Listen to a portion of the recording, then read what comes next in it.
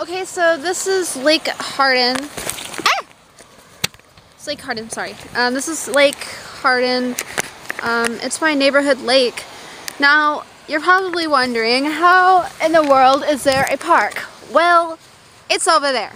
Sadly, this park is actually pretty old, but you know, it, it's still functional, sort of. It'll do. Um, well, I'm gonna have two boys over there. Well, they're not here yet, but they're coming. Um, they're gonna be with me. So, there's a swing set, teeter-totter, slide, something, and actually, zoom in a little bit. So, I don't know what that is. There's a, there's a slide, teeter-totter, and swing set. Perfect for what we need to do, and if we need anything, there is a bench over there we can use. We can also use a platform over there because we have a boat.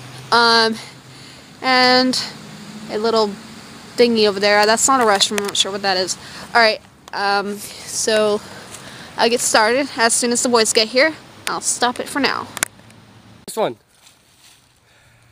I did it! Yay! Okay. Alright, so first I'm going to demonstrate some called kinetic energy. I'm not doing potential energy because that's kind of weird. Okay, so what I'm going to do is I'm going to stay here, and once I push off, I'm going to slide off the slide. Kind of a does statement, but you know. Slowly but surely.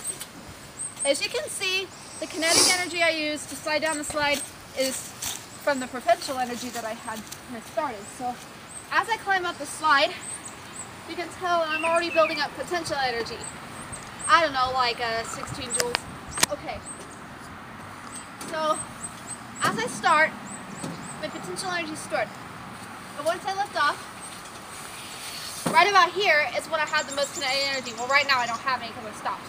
But as I slide down the slide, and then I at the bottom, I get zero joules of kinetic energy. I can stop it now. Okay, so I'm going to demonstrate equilibrium, I believe. So this is Zechariah.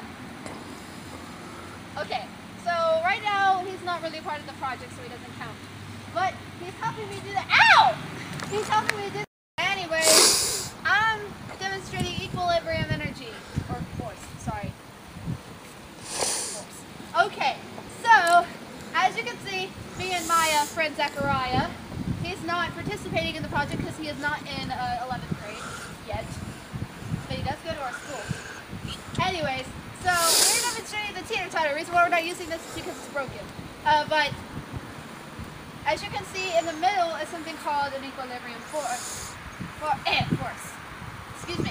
Uh, and as he goes up and I go down, you can kind of see how the equilibrium comes into play. Uh, when we're going up, spin down. And if he goes too hard, I can fall to the bottom. And like that! Ow! Okay, you can stop it. Okay, so I'm gonna do some... Warning. Do not attempt anything you see in this video, because it is dangerous. Alright, I'm gonna do centrifugal force as I swing on the set. You know, in 3D, this looks really amazing. But in real life, I look like a freaking Fez. Well, anyways, as you can see, centrifugal force happens when I swing with more energy. I go round and up and down, and I'm so glad I'm not wearing a dress She's gonna break it. up and down like this. Uh, as I use more energy, I go in a circular motion because of centrifugal force.